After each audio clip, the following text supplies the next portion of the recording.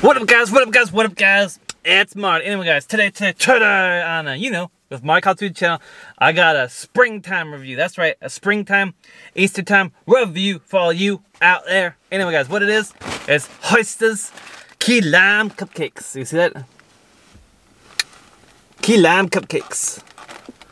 So anyway, guys, anyway, guys, anyway, guys, they got this one. They also got a strawberry one. And, uh, I guess they were all out of the strawberry one because I only had the key lime one left, and you know they probably won't get them in again because it says limited edition on here, and you know it's not even Easter time, but you know we're doing the review, you know, so get ready for Easter, guys. Get ready for Easter, you know, great time, great time of year. Anyway, guys, so nutrition facts: 180 calories, 140 milligrams of sodium, 24 grams of sugars. Anyway, if you're interested, I guess so. These were uh, how much were these? They say they were. Uh, I can't remember. I can't remember. Anyway, they usually post them, but I guess not anymore. Anyway, guys, let's crack this guys open and give you my first impressions of the key lime cupcakes by Hostess. All right. Oh, and if you liked this video, make sure you smash that like button and subscribe. Subscribe. Subscribe. All right, guys. That's what it looks like. Got some nice sponge cake on there. Anyway, guys, let's crack it open, see what it's about. Yeah, I gotta give it a smell first. Oh, that smells good. That smells good.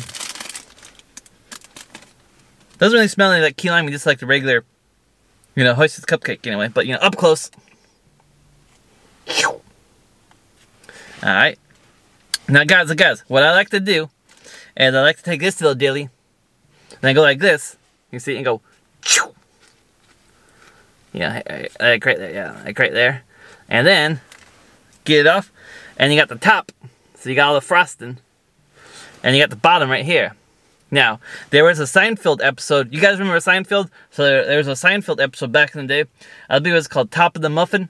Because, you know, everyone wants the top of the muffin. They don't want the bottom part of the muffin. They only want the top part of the muffin.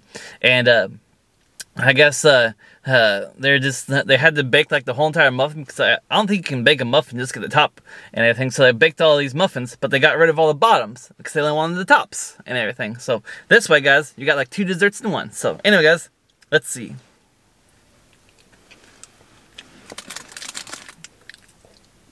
All right, so the frosting. This tastes like a regular frosting. Now let's try the cake.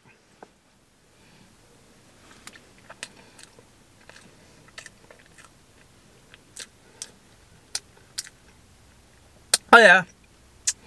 So guys, guys, this is my consensus right here. These um, key lime cupcakes by Hostess.